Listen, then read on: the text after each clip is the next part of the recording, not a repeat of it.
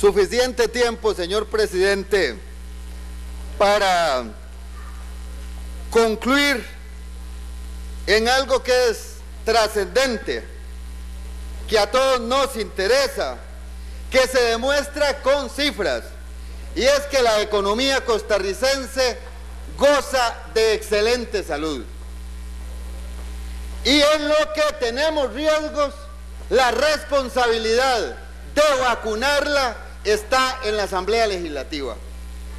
Un crecimiento de la economía superior en el último semestre al 6% es un crecimiento superior al promedio histórico y al de la mayoría de economías europeas.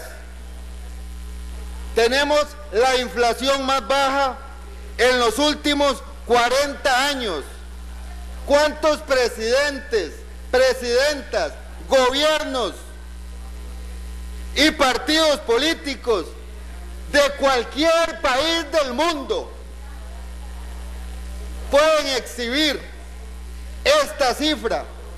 Y en Costa Rica, orgullosos lo hacemos. Eso significa una mayor calidad de vida de la familia costarricense y una mayor capacidad de consumo. Se han creado 90 mil empleos en el último año, más de 90 mil empleos. ¿Y para quiénes? Especialmente para nuestra juventud, para los sectores medios, para hombres y mujeres que se incorporan al mercado laboral. Los servicios financieros y seguros han subido por encima del 8% con respecto a años anteriores, lo que demuestra que crece la economía y crecen las actividades de, de intermediación y aseguramiento, que son generadores de ese bienestar y de muchísimo empleo.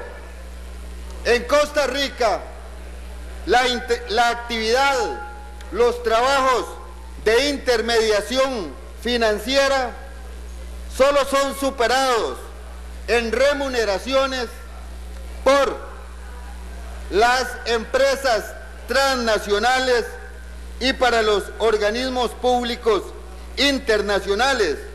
Y más de 50 mil personas laboran en esta actividad.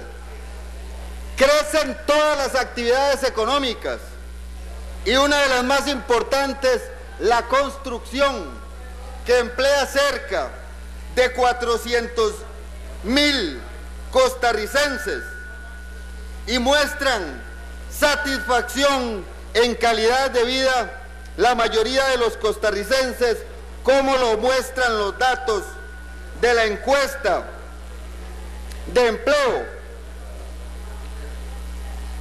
Pero sucede con las economías como lo que sucede con las empresas y se les aplica el axioma de que capital que no crece, perece.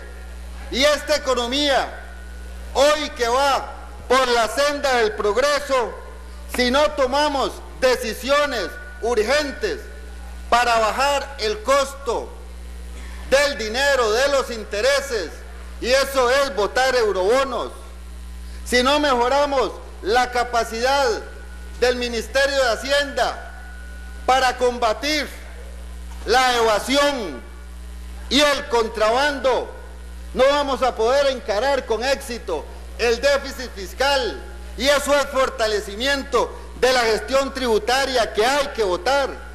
Y como no se nos interesa que a este país lleguen capitales especulativos o de dudosa procedencia, queremos que lleguen capitales sustentados en trabajo y en honradez.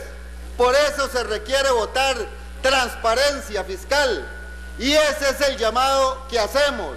El llamado que hacemos es al trabajo, es al compromiso con el país, es a cumplir nuestras responsabilidades constitucionales. Hemos venido señalando aquí una y otra vez cómo existe la presión hacia arriba de la tasa básica pasiva. Nuevamente se anuncia por parte del Banco Central un incremento para el fin de semana.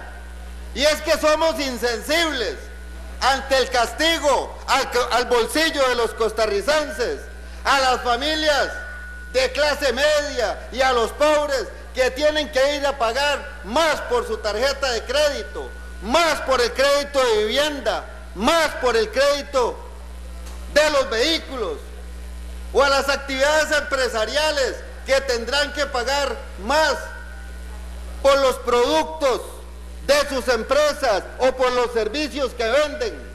¿Y a quién se le van a trasladar esos costos?